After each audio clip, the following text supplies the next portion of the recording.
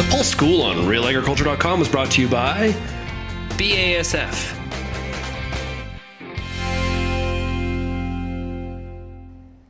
Welcome to Real Agriculture's Pulse School series. I'm Kara Oosterhuis. In this episode, I talked to Jenn Walker of Alberta Pulse Growers on nodulation scoring, the when, where, why, and hows of it. Check out our conversation now. One of the things that pulse crops are known for, and one of the reasons why we love to plant them, is the fact that they can fix their own nitrogen. And to do this, they form a symbiotic relationship with rhizobia, that are bacteria, and we apply that at the time of seeding through an inoculant. And there's a number of different formulations. Um, but it is important to go back once the crop is established and check and see if you actually have active nodulation and if they're working for you. So that's what we're doing here today. So, um, when we're scoring for nodulation, it's kind of a weird scale. It's a 0 to 13 points.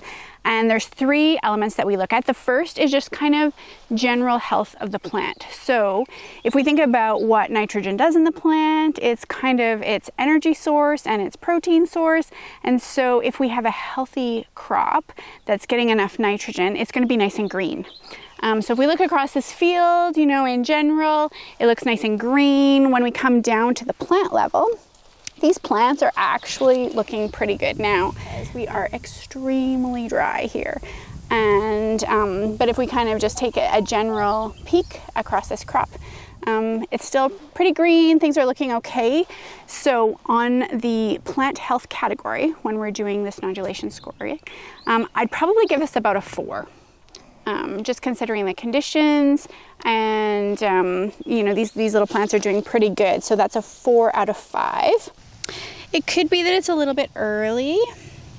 Um, normally when we do a nodule score we want to kind of almost just before flowering so at budding. Okay these are going to be hard for you to see. There are some tiny tiny little lateral nodules. They're just very tiny so it's kind of like that little bubble. I don't know if you can even make that out. That is a tiny little Rhizobia nodule. There's another one. And so this plant has them on the crown, which is this main taproot. And then there are some few on the lateral roots.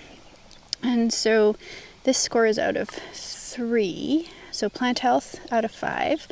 And then location of the nodules is out of three. So you if you have them on the crown and on the lateral roots, you give it a score of three. If you have it on just the crown, it gets a score of 2.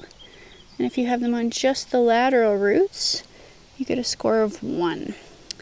And the difference is, if we see them on the lateral roots, it's probably native rhizobia in the soil and they actually aren't very good at fixing nitrogen.